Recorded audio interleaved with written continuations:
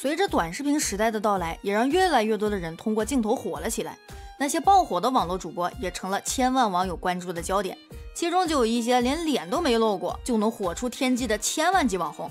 他们究竟是怎么火起来的呢？本期阿酱带大家盘一盘全网七位不露脸主播的真实颜值。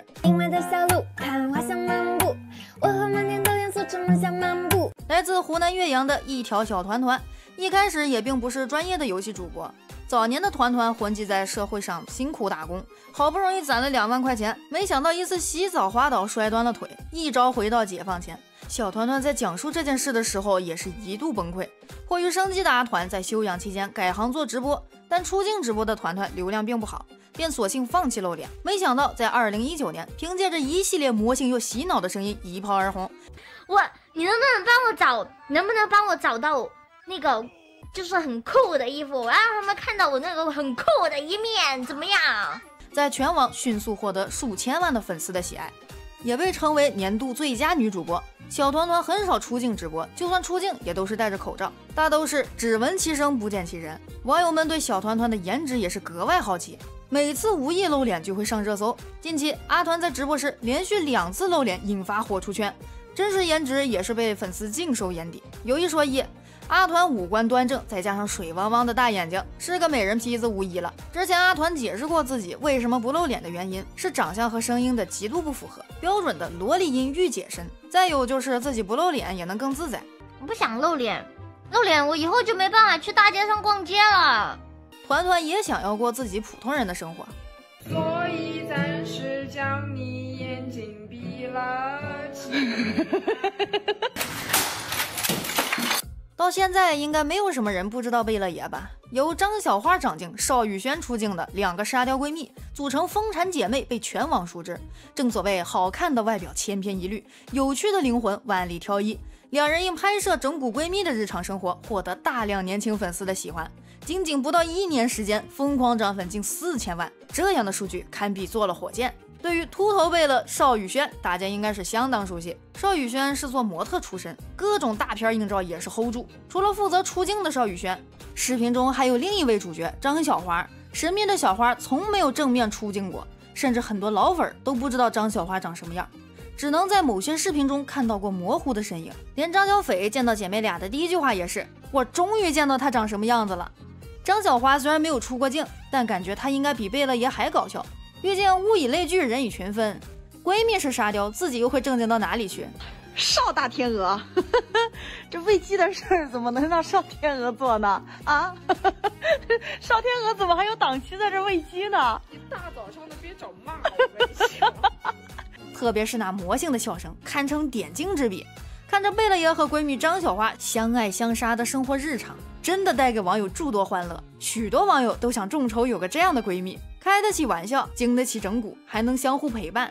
二零一九年也被称为 Vlog 元年，这一年的各种 Vlog 日记爆火网络。赶紧去上班，走着。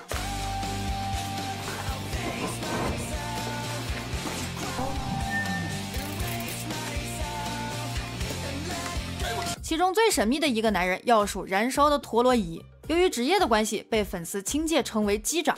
燃烧的陀螺仪用一系列快节奏的视频告诉大众，原来 Vlog 还可以这么炫酷。一夜爆火的他，掀起了抖音人人模仿的浪潮，他也迅速吸粉近千万。而他创建的幸福生活中的仪式感，有着近一百亿的播放，足以看出机长的人气。但机长这个人充满神秘感，在他的视频中从未露过脸，总是穿着兜帽衫，戴着墨镜和口罩，没有人知道他长什么样子，除了知道他是南方航空的一名机长。其他的一无所知，这也让大家对他的长相充满好奇。但是身高一米九二，声音又充满磁性的男人，怎么会长得丑呢？没想到被自己保护的好好的长相，被央视新闻给出卖，露出了庐山真面目。在二零二零年全国向上向善好青年中，机长的照片赫然在列，第一排第一个就是他，他叫宋金泽。现实中的机长长相帅气且心地善良，曾筹款五十万为贫困地区捐了一所希望小学。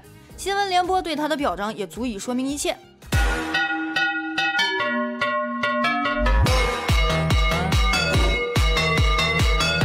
提起蔡萝莉，相比大家都不陌生。作为二次元女神，早在几年前，蔡萝莉就火了。蔡罗莉经常一身萝莉装，偶尔穿旗袍，身材看起来瘦瘦小小，很受宅男的喜爱，有着近两千万的粉丝，不经意间也用豪车豪宅炫富，真实身份也引得网友纷纷猜测，更有甚者传出她是青岛首富的千金。不过这些都不是蔡罗莉最大的争议，蔡罗莉的作品几乎不露脸，即便露也是拿着手机挡着，这让无数网友心生疑虑，质疑她是第二个乔碧萝。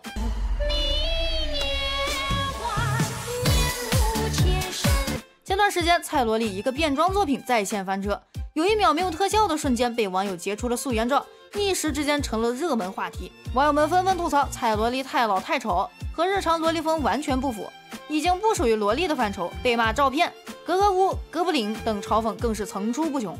而蔡罗莉勇敢发布动态，大方承认自己整容，火上热搜，拿自己坎坷的整容史劝告众人，也是圈了一大波的粉儿。作为不露脸的网红，东北酱在洛杉矶的酱总也有一席之地。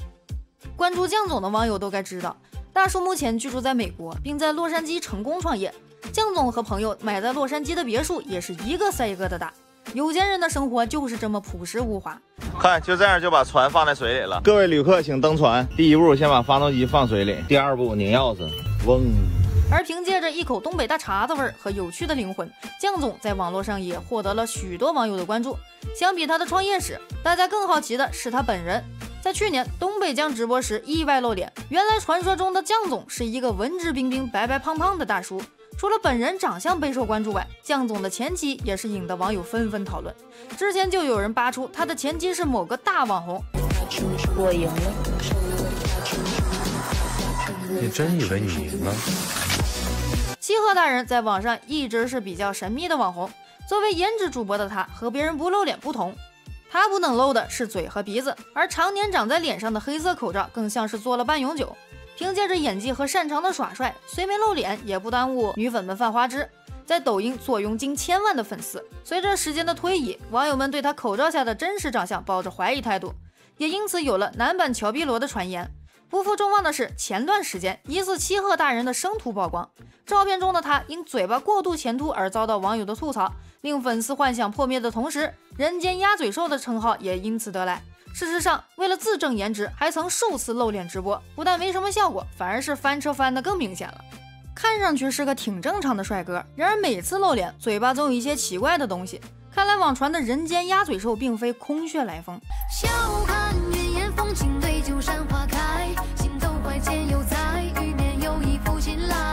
等什么君？等我的如意郎君。小姐姐本名邓玉君，是个毕业于吉林财经大学的东北妹子，经常在社交平台放自己唱歌的作品，是个不露脸但唱歌非常好听的小姐姐。日常穿搭和她的歌曲一样，看起来仙气飘飘，是个超人气国风歌手。是那么荒凉，地是那么光，情是那么荡漾，心是那么浪。随着等什么君在网上的爆火，也有许多网友对她的真实颜值非常好奇。现实中的小姐姐非常青春可爱，在年初的时候，等什么君就曾空降晚会，一袭绝美红衣，手持红扇，独特的东方韵味，一派江湖侠客的模样，让观众眼前一亮。自此，从不公开露脸的她，首次揭开了神秘面纱。好了，本期的网红八八酱就到这里了，你还知道哪些不露脸的千万网红大 V 呢？评论区告诉阿酱。